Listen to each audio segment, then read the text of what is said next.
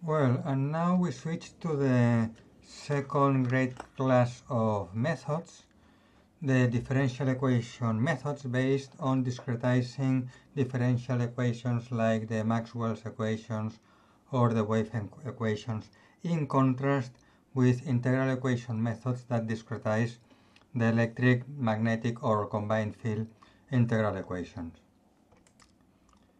To introduce differential equation methods or finite difference methods, I just remind you one of the slides in at the beginning of chapter 3 in which where we, we were dis discussing the division between integral equation and differential equation methods. And we said that differential equation methods were based on the discretization of the, the derivatives with uh, finite differences.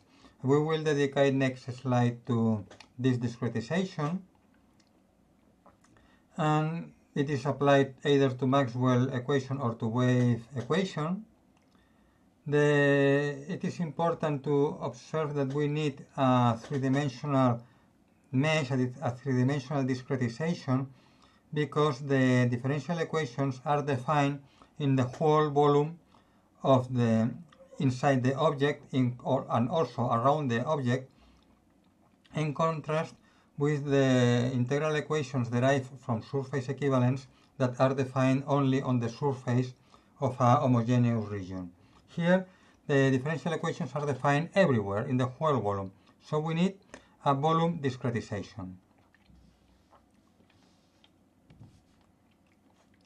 Uh, we will dedicate a slide later to discuss the issue that we have to terminate the mesh. And this is uh, the that we have to set a truncation boundary condition. We will discuss about this later. We have we have also said that these methods lead to a sparse matrix. In next in a few slides we will say we will see an example. And of course they can model inhomogeneous media because since the Maxwell or wave equations are defined for the whole volume, we can change the constitutive parameters, we can change the epsilon and mu uh, electric permittivity or magnetic permeability of the medium. We can change them from one point to the other, or in the case of the wave equation, we can change the propagation constant that is the uh, that is omega square root uh, mu epsilon, we can change it also from one point to the other. So we can model inhomogeneous media just setting at each point or for each discretization cell or, discreti or discretization small volume, we can set the corresponding value of permittivity and magnetic permeability um, in, in, for each of them.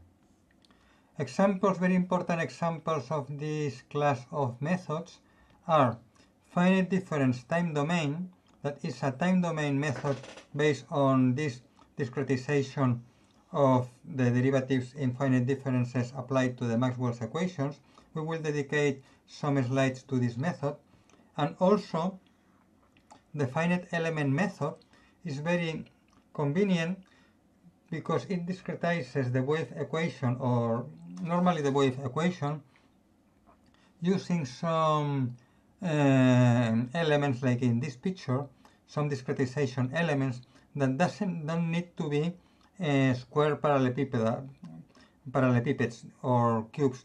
They can have any shape and even have curved uh, boundaries. And it is much better than the straightforward discretization of the derivative like this with finite differences because this straightforward discretization leads to a sampling in a uniform mesh like it is like this picture. And this sampling in a uniform mesh doesn't allow the the good a good representation of boundaries that are not planar. So for to, to model uh, complex objects with curved surfaces like for example in this case the human head it is much better to use the finite element method. We will dedicate a few slides to finite element methods, but first we will discuss the straightforward discretization using this uh, finite difference approximation, which is called the finite difference method, uh, in this case in frequency domain, just to introduce the, um, this family of, of methods. And about this finite difference approximation, it's well known, you have probably seen it in your courses on mathematics. We can, in fact, it is, in fact, it is the, the, the definition of derivative. The derivative of a function at point x0 is the difference between the value of the function just at the right of x0 minus the value just at the left divided by the separation between the two samples when the sorry when the separation goes to zero okay? So this is it is just the definition of derivative. In this case we just sample the function and, and, and subtract. We very often have a equispaced sampling and in this case to obtain the derivative at point xi, we subtract the value of the function at the next point on the right, so to obtain the value at xi here, we subtract x the value at, of the function at xi plus 1 minus the value of the function at xi minus 1 and divide by the separation between the two samples that we are subtracting, that is twice the sampling step. And this is a central difference scheme because it gives the derivative at, the center of the points that we are subtracting. To obtain the derivative here, we subtract one point at the right minus one point at the left. And this is a good approximation of, the derivative because the derivative is the tangent to the function and it's more or less approximated with the slope of this straight segment that goes from the sample at the right to the sample at the left or or vice versa. However, sometimes people approximate the derivative subtracting the sample at the right minus the sample at the point where we want to compute the derivative. In this case, the value that we obtain in the approximation is the slope of that straight segment that is not the same, is not the same, is not a good approximation as the, to the, not a good approximation to the slope of the derivative. The same happens if we subtract the value of the function at the point where we want to compute the derivative minus the value of the function at the point at the left. In this case, we obtain the approximation is the slope of this segment in green. That is also not a good enough approximation to the true derivative at the at the center, at the point. So the best approximation and the one that we have to use is always subtract one point at the right, so the sample at x i plus 1, at, at i plus 1, minus the sample at the left, which is the sample i minus 1. And this allows us to obtain the derivative at sample i. Okay, here. This is the central differences scheme.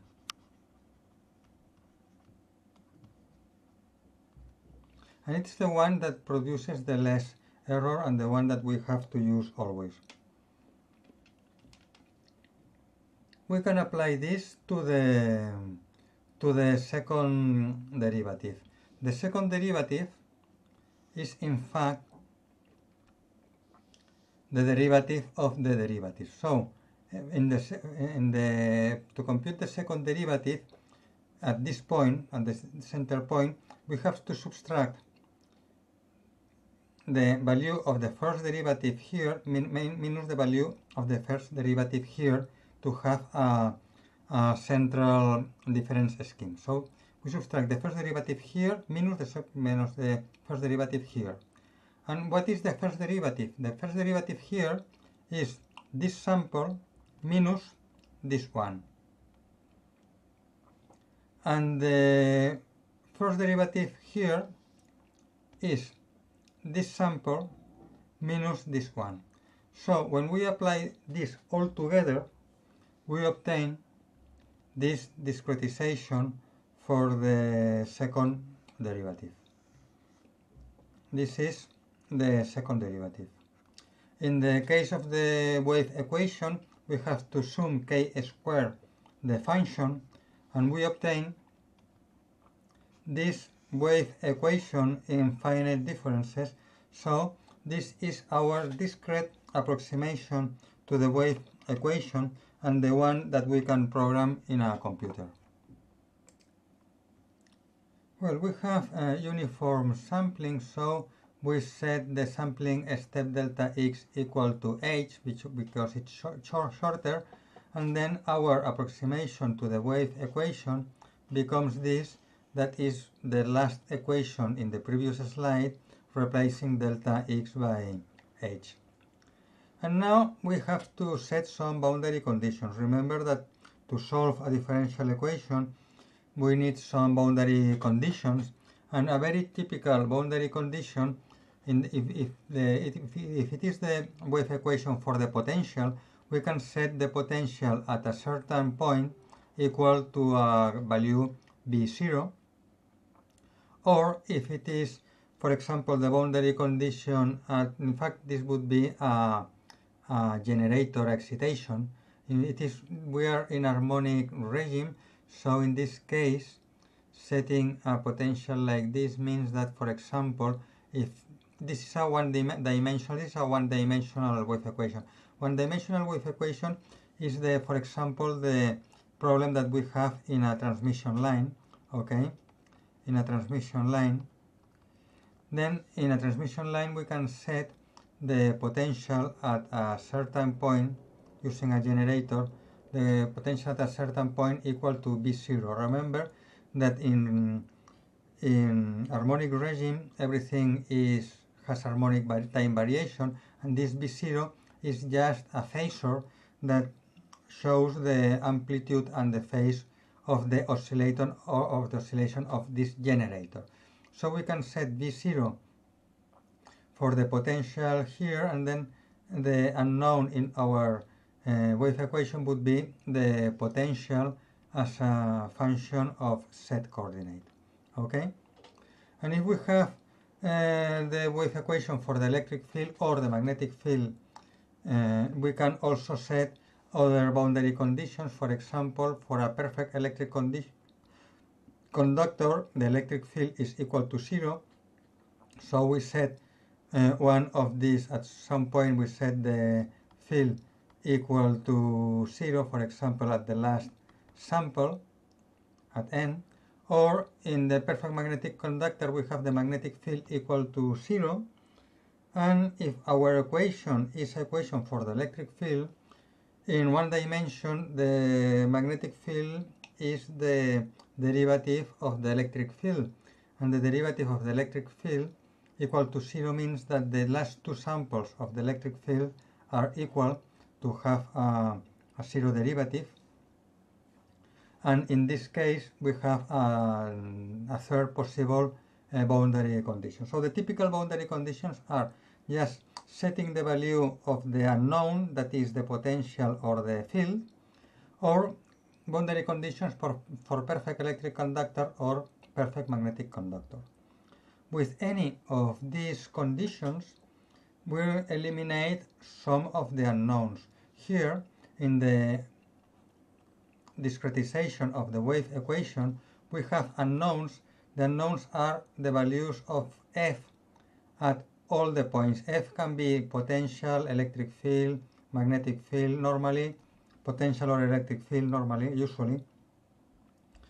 And the boundary condition sets the value of these unknowns at some points, but of course the value at the remaining points is still unknowns and are the elements of this vector are the unknown values of our unknown potential or, or electric field at some points. But at the other points where we have set a boundary condition, we know the value.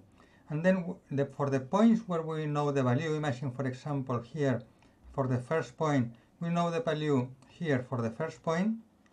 If it, if it is known, this goes to the right hand side. And for example, in the case that we know that the value of the function at the first point is equal to f0, this, which is the value at the first point, goes to the right hand side and we get this term in the right hand side. The h square comes from the fact that here we multiply everything by h square. So the value that we get at the right hand side is multiplied by h square.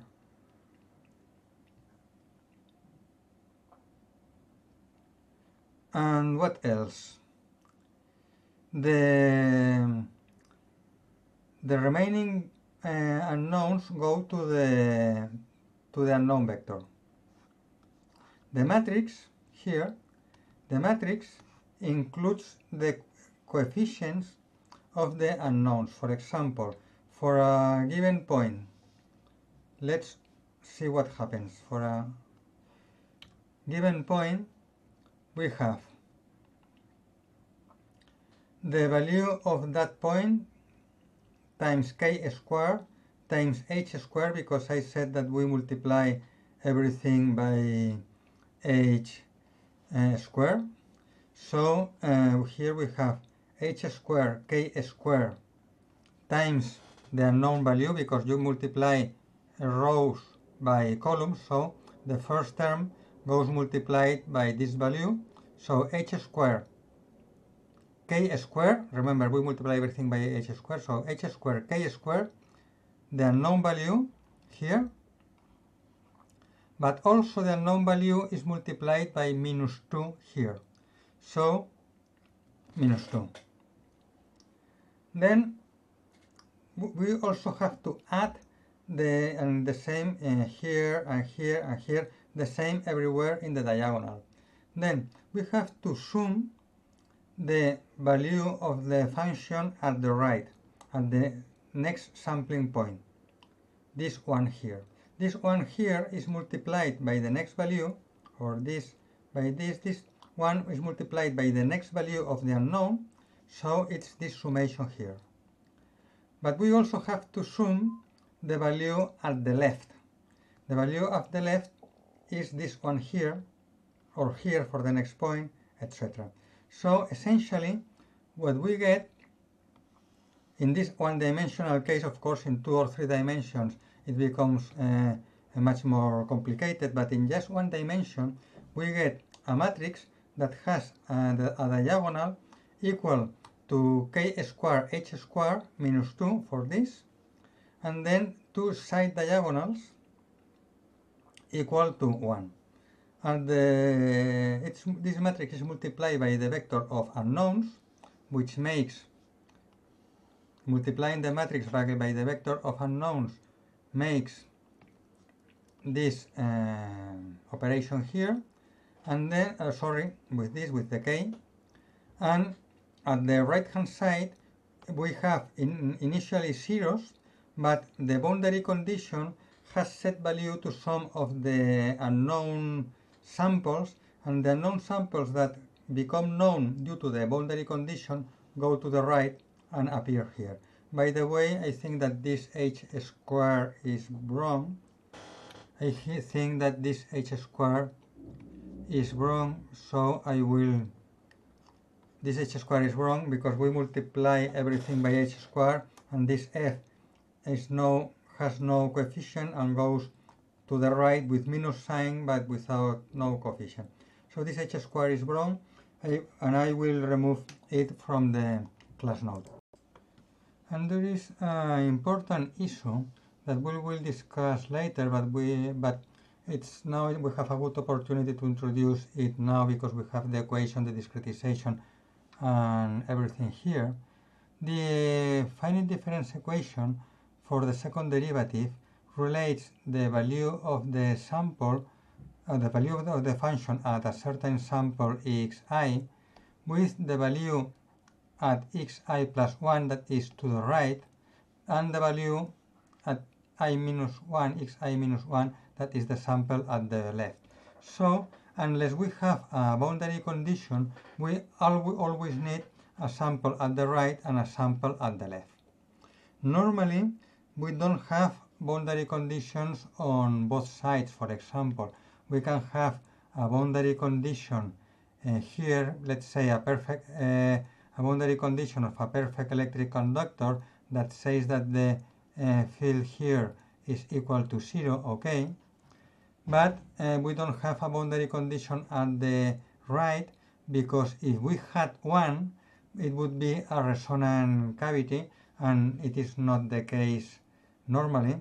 So to the right hand side what we have is propagation. We have a wave that propagates with no terminating, uh, with no termination, with no uh, perfect electric or magnetic uh, conductor. So according to this uh, finite difference equation, we always have to sum for every uh, for the second derivative at every sample we always have to sum the sample to the right. For that reason in all the rows we have a 1 just at the right of the diagonal corresponding to the next sample to the right that is uh, summed to obtain the second derivative at a certain point. Okay but this goes to infinity for because for every point we need the next and for this we need the next and for this we need we need the next etc. We need to go to infinity. So our uh, matrix would be infinity. We would need uh, infinite rows and infinite columns. And of course, this is impossible to implement in the computer. So we have to find a way to terminate the discretization, a way to terminate the discretization at the last sample. Imagine that the last sample is n. So we need to set some kind of condition here that terminates the, the sampling without setting the next uh, samples to zero.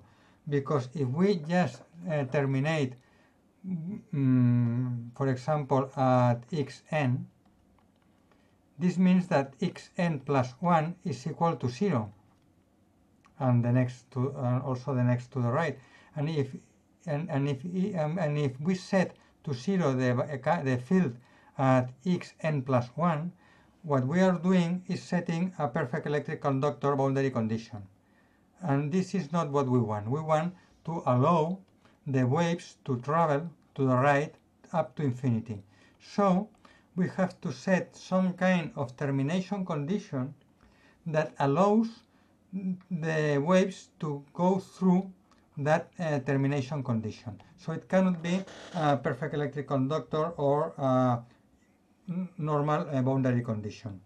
It is called a truncation boundary condition and we will dedicate uh, a slide to this issue later. And now in two or three dimensions. Of course, the picture is for two dimensions because it's the one that is the, that is clear. In three dimensions you can extrapolate and imagine what uh, would be this like in three dimensions. Then you have the this is the Laplacian in two dimensions.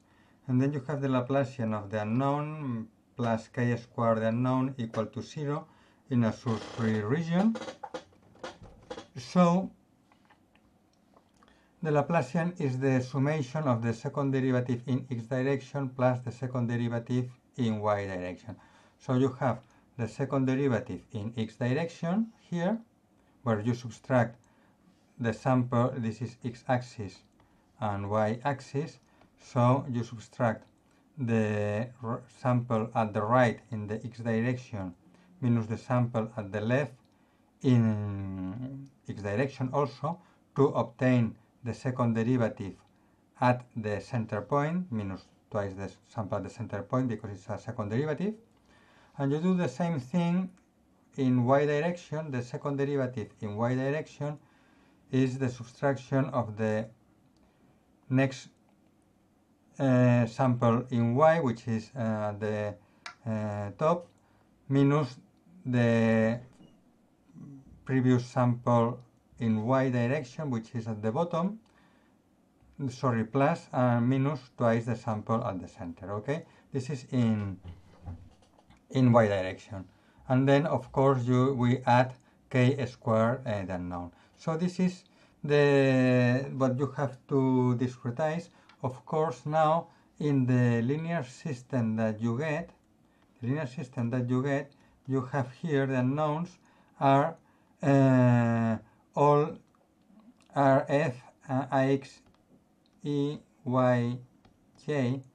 So this uh, includes all this uh, vector of unknowns includes the unknown at all the points.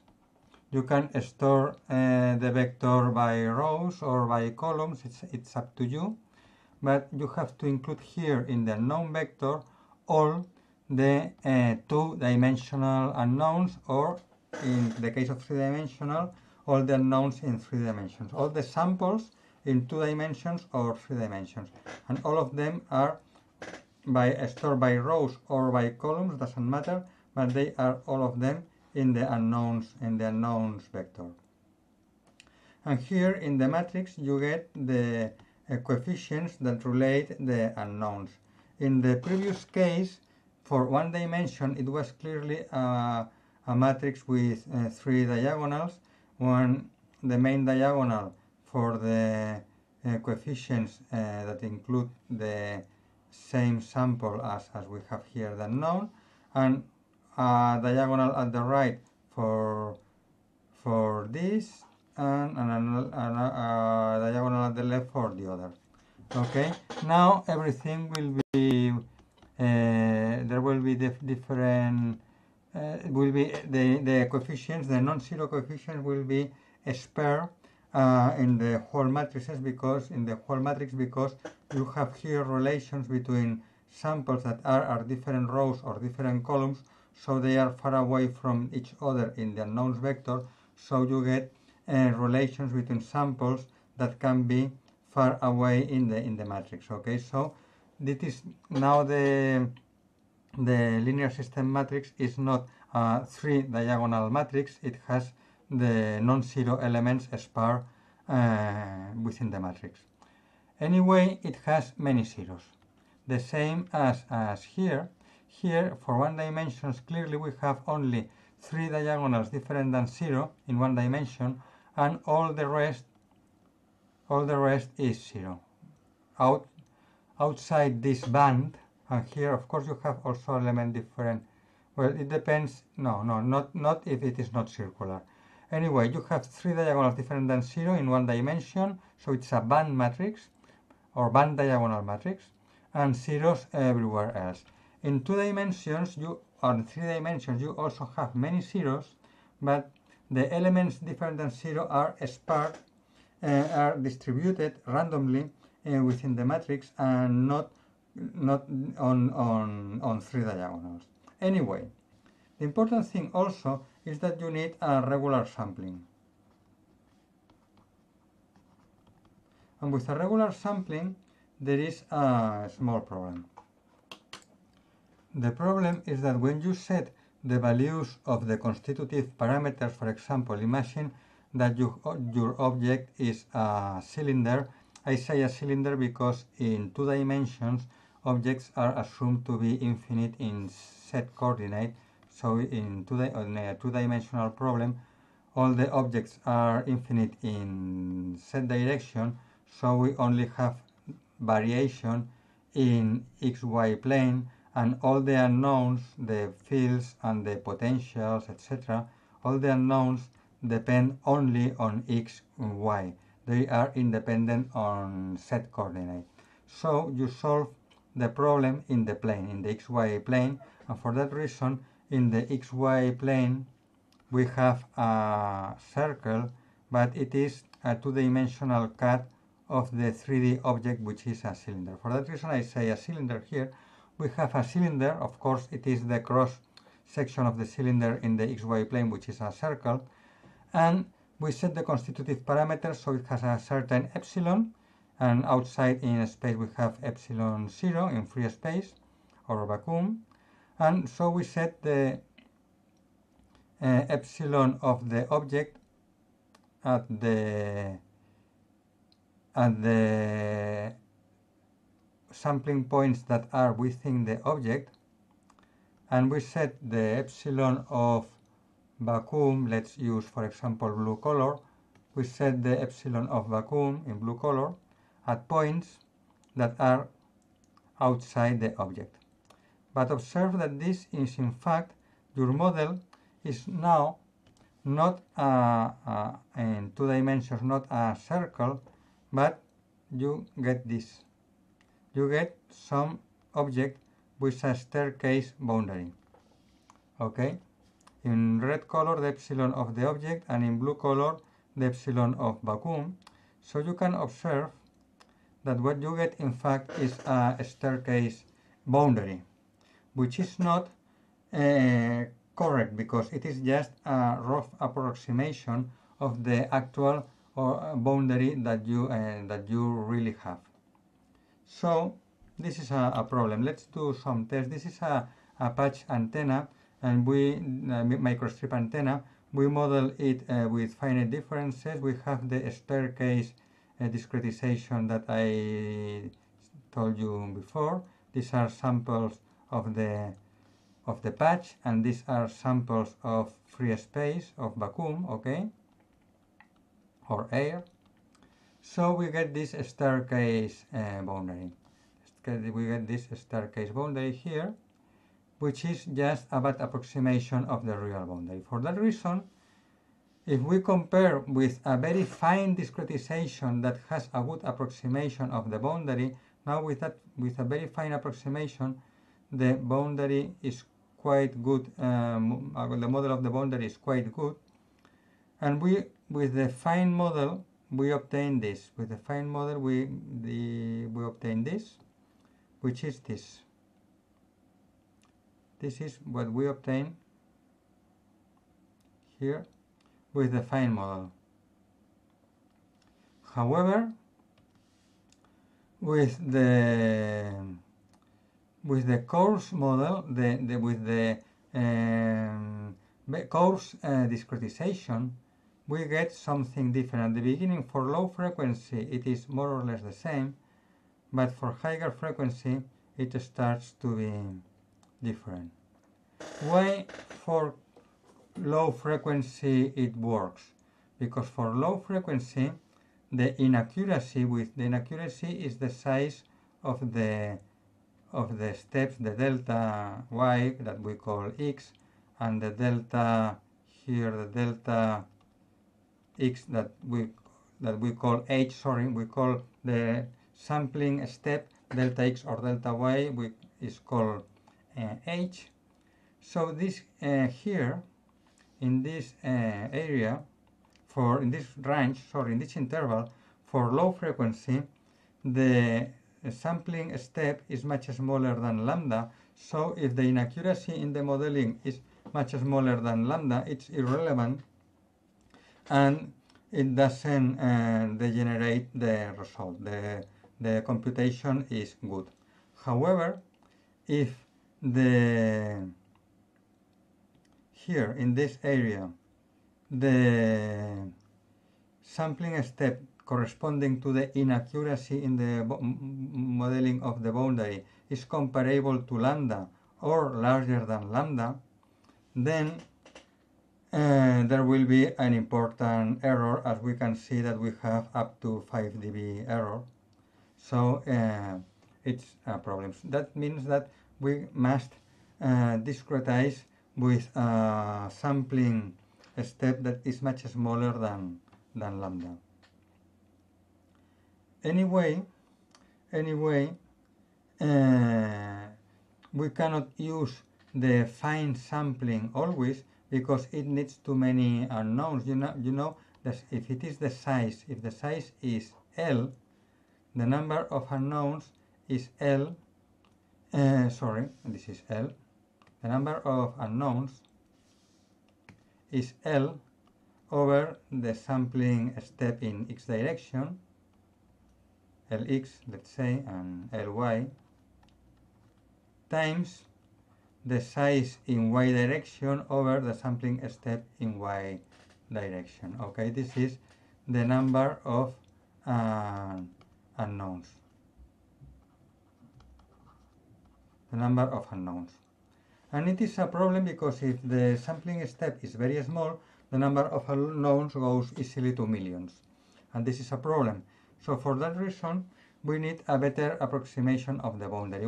Something that we can do is just a hybrid approximation in which we uh, have uh,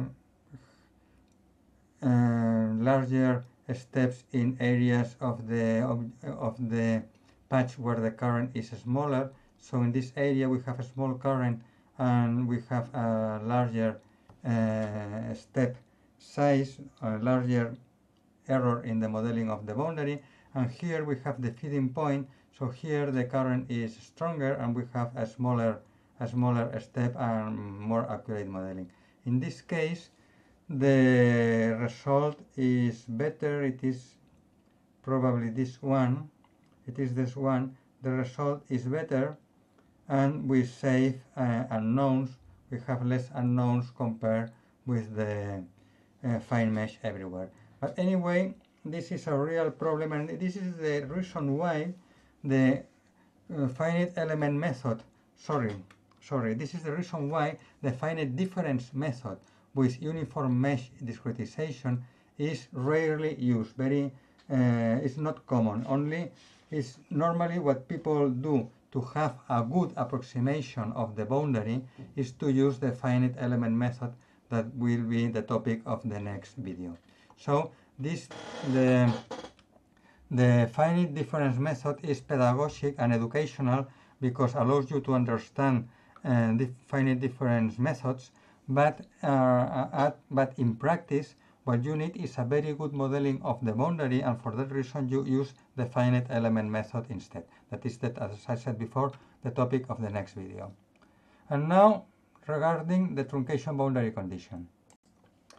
Well, I, I already said uh, previously in another slide when we were studying the one-dimensional discretization that the problem is that uh, according to the uh, finite difference approximation of the second derivative and adding k squared unknown the, the approximation to the to the wave equation we have uh, to include in the relation always the next sample. In order to compute the second derivative here, we have to use the four uh, neighbor samples, samples. And to compute it uh, here, we need the neighbor samples. And unfortunately, to compute the derivative here, we need the four neighbor samples. And we always need one sample more and we must uh, we need a way to finish or to truncate the mesh. I said I told you before that it is not use setting the last sample equal to zero or even equal to the to the previous one because then what you are doing is setting a perfect electric conductor or perfect magnetic conductor boundary condition. And then what you produce is to have a a closed box uh, uh, where the waves are reflected and you have a resonant cavity etc and this is not the problem that you want to analyze. For example imagine that you have an antenna here and the antenna radiates some waves and what you want to do is to compute the radiation of waves and you have to set a truncation boundary condition that can be uh, trans that allows the, the, the outgoing waves to pass through the truncation boundary condition without any reflection. It is important, the concept without any reflection is important because what you do when you set the last sample equal to zero is to put a perfect electric conductor boundary condition that produces a complete uh, reflection. So but the idea that what you have in mind is to allow the outgoing waves to exit the discretized volume through the, the, the truncation of the boundary, through the truncation without any reflection. And there is a way to do that. The way is to use a different, dif another differential equation in the truncation that has the same solution but only needs samples within the volume, that doesn't need a sample outside the volume. So, of course, this new boundary, this new differential equation must be restricted because the, the differential equation that allows, that is valid for any kind of wave is the wave equation. But it needs, uh, it has a second derivative and needs uh, samples outside. So we have to find a differential equation with uh, a first derivative that doesn't need samples outside but is valid for our outgoing waves. In one dimension, if we have a one-dimensional problem in x-axis, we can imagine that what we want is to imagine that we want to truncate the boundary. Sorry, this is the last sample. This is sample n. So we want to truncate the boundary at sample n. This is n minus 1. This is sample 1 and this is sample uh, lowercase n. Okay. So we want to truncate the boundary here at sample n. But the truncation must allow the um, plane waves to travel, plane waves because in one dimension you have plane waves, travel from left to right. Okay, because for example, imagine that you we have uh, uh, here we have a source that uh, antenna that produces some wave. So we want that in the truncation the waves travel from left to right. So we can write, uh, we can, we must allow this kind of waves, waves traveling towards the positive x-axis, and the differential equation that is valid for this kind of waves is this differential equation. The derivative of the wave is equal to minus jk the, the wave uh, function. This can be field, potential, or whatever. So we discretize this, and the discretization is the derivative is the last sample minus the previous sample, so sample n minus sample n minus 1 over the sampling step h is equal to minus jk, the value of the function. But the value of the function where? the value of the function at the center point between the two samples that you are subtracting. This is the central difference scheme that gives you the value of the derivative at the center point between the two samples. So the center point between sample n and sample n minus 1 is sample n minus 1 half. So you get the value of the derivative here. And the value of the derivative here is equal to minus jk, the value of the function here. Okay? So minus jk, the value of the function at x n minus 1 half. But since you don't have a sample, a sample there, you can approximate the value of the function at n minus uh, 1 half by averaging the values at n and n minus 1. So what you get at the right at the right hand side of your discrete equation is this, and the left hand side of your discrete equation is this.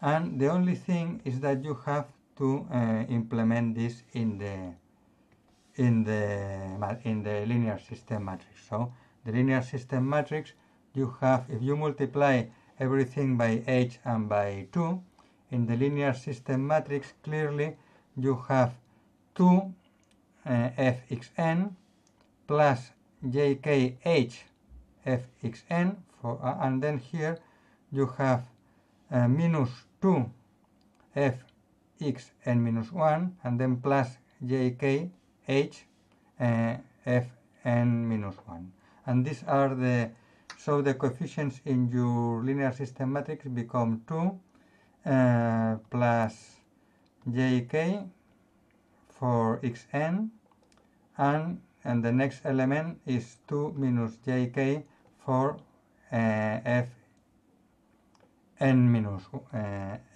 for f at x x n minus 1 okay so these are the two coefficients of the matrix that you sorry the h is missing the h here. Okay these are the two coefficients of the matrix that you get. You can derive them easily from from the equation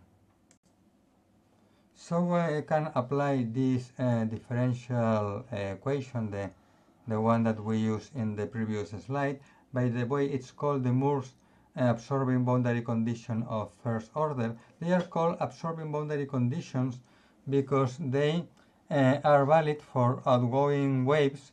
So the idea is that they don't produce a reflection in the boundary like what you have would like what you would have is the you set uh, to zeros the the last the last sample. Okay. So the idea is that they can absorb waves that is allow the propagation of waves through the boundary. The problem is that, that this first order uh, uh, differential equation or Mur's Moore absorbing boundary condition of first order is valid for waves that propagate uh, to the um, right in the x direction. So if we have a two-dimensional problem, they are valid to waves like that, waves that in with incidence normal to the right boundary, the right truncation boundary is this.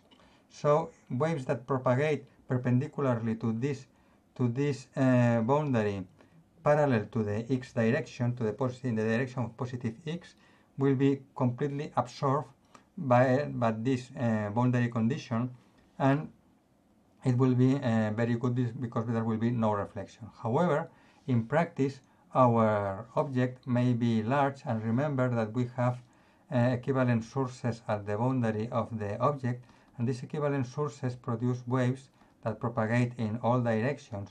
So in practice, for a point at the boundary, for a point at the boundary, you will have incident wave coming in different directions, not only, not only in the direction perpendicular to the boundary. So this first order boundary condition will be inaccurate for waves that do not that that has incidence that is not perpendicular to the boundary. So it will be accurate only for normal incidence like this, but inaccurate for the other, for the blue ones. To improve the results, we can set the boundary very far away from the object and then since the equivalent sources are within the, the object if at the boundary if it is homogeneous or everything in between if it is inhomogeneous since the sources are uh, inside the object the, the possible directions of incidence are closer to the normal incident. this is normal and this is the possible uh, directions of incidence that are almost normal so in this case, the error is small. The error due to the fact that the uh, plane wave incidence on the boundary is not perpendicular is much smaller than in this case, where the directions of incidence are far away from the perpendicular direction. This is what people used to do uh, with this uh, first order boundary condition. So the problem is that now we have to mesh a large volume of air around the object in order to have the truncation boundary condition or the absorbing boundary condition in this case very far away from the object. We can improve this using a higher order boundary conditions. For example, it is often there were often used second order or third order absorbing boundary conditions that are valid for n plane wave directions of incidence. If it is second order, two directions, third order, for example, third order, a third order boundary condition would be okay for normal incidence and imagine for example 45 degree incidence on one side and 45 degree incidence on the other side. So in this case you can have the object closer to the boundary. But anyway you, can have the object closer to the boundary because you now you allow you allow a wider range you allow a wider range of incidence directions. But anyway you have to mesh a lot of space around the object.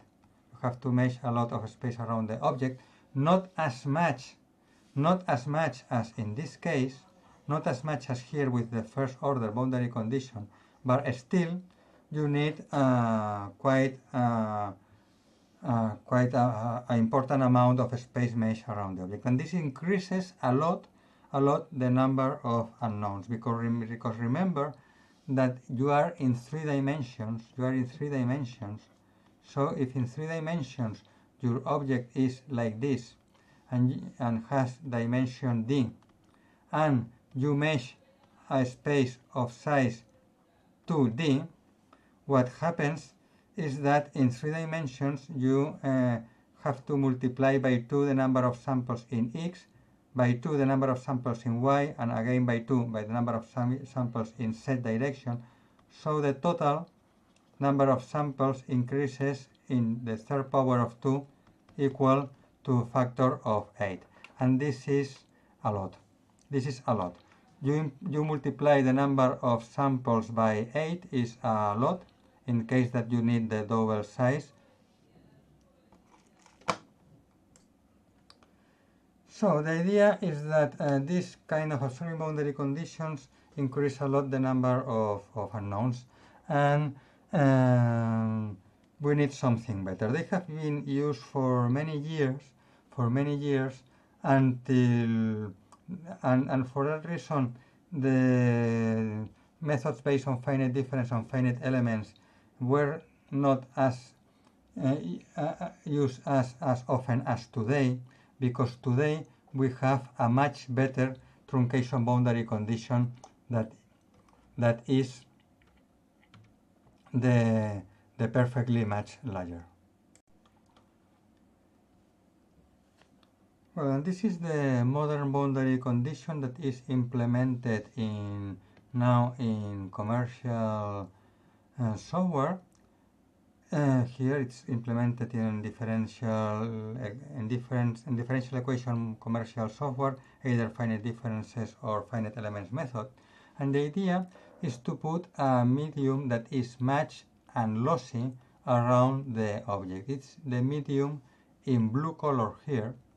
This medium is lossy, so uh, when the waves uh, scattered by the object are incident in this medium, they, be, they become attenuated. They become attenuated inside the medium. They are then the medium is terminated with a, with a perfect electric conductor. So in fact, the termination of the mesh is the perfect electric conductor, and the waves are the very attenuated waves are reflected at the perfect electric conductor and are reflected again, so that and the, at the end, after passing two times through the lossy medium, once in first in forward direction and second ref after reflection in backward direction, they are completely attenuated and they are not reflected back to the object. So this medium is lossy and completely absorbs the power of the waves. But it is also matched. It's matched because we don't want we don't want our wave to be reflected at the uh, interface between air and the, and the medium. So it is both matched and lossy. And it is, uh, it is important, it is, it is difficult to develop uh, the formulation, the properties, to develop to the epsilon and mu of a very special medium having these properties. In fact, it is a non-physical medium with tensor magnetic uh, conductivity. So you define epsilon and mu for this medium that they are not only complex but they are also tensors and anisotropic. But anyway, it's, uh, it's very way. The, formulation and the implementation is complex and is difficult, but it works very, very, very well. In fact, it works very well because it completely absorbs the waves, so it is much more accurate than Mur's or other absorbing boundary condition that had some reflection for for uh, mm, most uh, directions of incidence.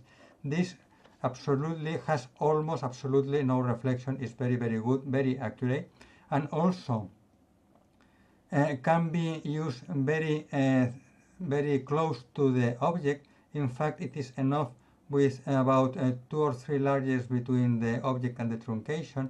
So the air around the, the air between the object and the truncation and the perfectly matched layer is about only two or three layers.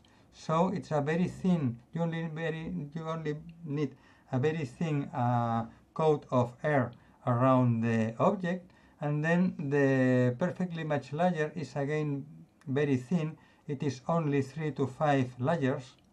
So at the end between 5 and 8 layers around the object you can completely truncate the, the mesh and with very good accuracy. The only thing it, it is that the formulation is complex and difficult and the implementation also. So you will find of course it in commercial software, but if you have to write your own and very simple software to analyze a very simple case, probably what you want is to implement uh, maybe a third, second or third order absorbing boundary condition like this. This is first order, but there are equivalent ones that are second or third order.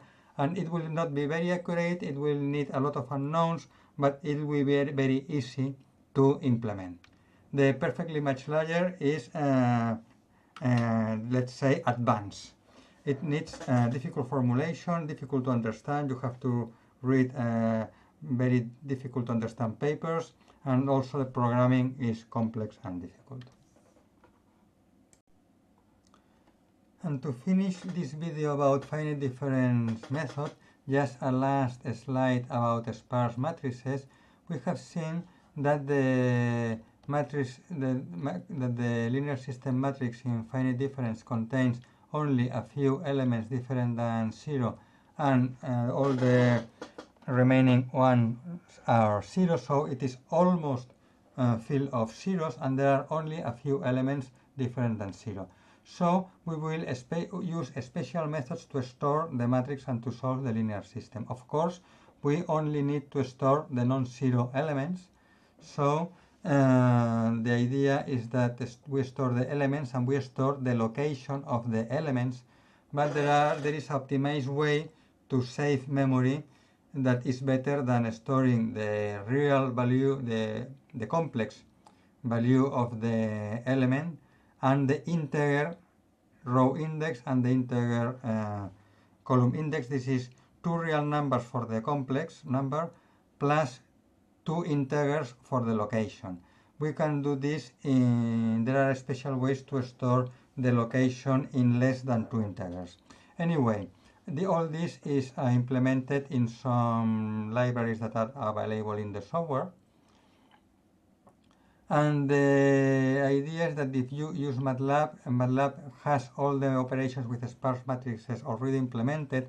And if you use low-level languages like C or C++ or Fortran, etc., you have lots of libraries that operate on, on sparse matrices. And the idea is that only they only store and operate on the non-zero elements, so you save a lot of storage uh, and a lot of, of computation time. Also, of course, in Python language, you have uh, modules for, for operating with, with sparse matrices. And to solve the linear system, remembering that the solution of the linear system, you, we have to multiply the matrix of the linear system times our estimation of the unknown to obtain the next estimation of the unknown okay remember and this uh, matrix vector multiplications are in fact multiplications of the row of the matrix of the rows of the matrix times the vector.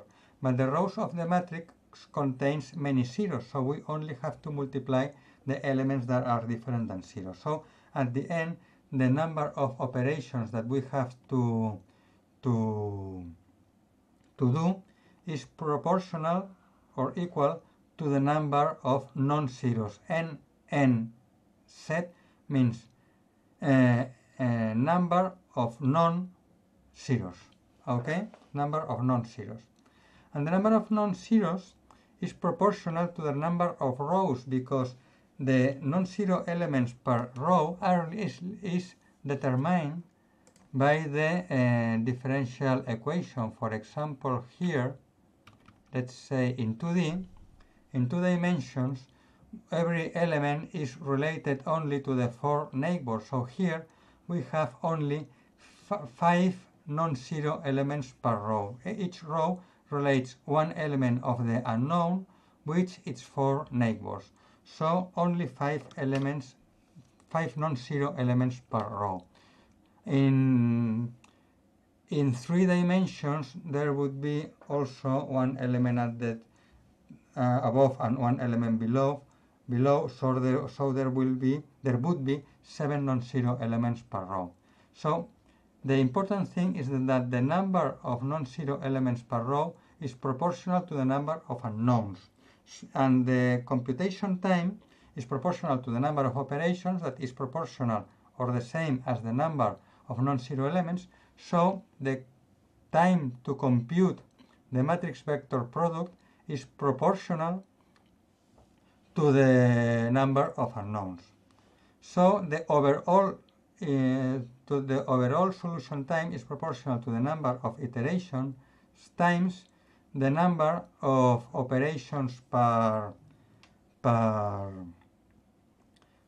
per iteration, the number of iterations is of the order normally square root of n, that is n power 0.5, so this becomes of order n 1.5, which is uh, much better than what we have for, uh, for a full system of equations, for a full system of equations we have the number of iterations times n, n square if we don't use any fast solver or n log n if we use one of the best fast solvers.